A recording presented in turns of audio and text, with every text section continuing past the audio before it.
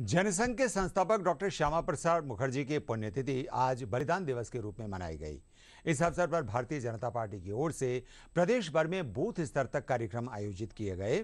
जयपुर स्थित पार्टी के प्रदेश कार्यालय में राष्ट्रीय संगठन महामंत्री रामलाल और राष्ट्रीय सह संगठन महामंत्री वी सतीश सहित कई नेताओं और कार्यकर्ताओं ने डॉक्टर मुखर्जी के चित्र पर पुष्प अर्पित कर श्रद्धांजलि दी।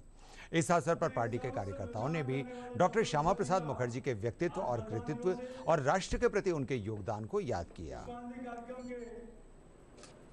बाद में सभी अतिथियों से आग्रह करूँगा।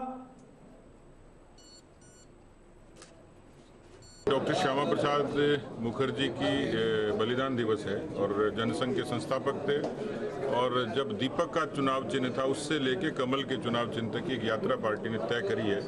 तो स्वाभाविक रूप से उनका कहना था कि डॉक्टर मुखर्जी ने जिस देश की एकता और अखंडता के सपने के साथ इस पार्टी को शुरू किया था तो हर बूथ पर एक राष्ट्रवादी जागरूक शक्ति, ये तैयार हो, इस बात पर हमारा विशेष विशेष फोकस रहेगा। पार्टी केवल चुनावी मशीनरी बन के नहीं रहे, और पार्टी सामाजिक सरोकारों से भी जुड़े, और राष्ट्रवादी विचारों से भी जुड़े, ऐसा एक समर्थक वर्ग और हर तबके में तैयार करें, हर आयु वर्ग में तैयार करें, इस बात का उनके भाषण में विशेष फोकस है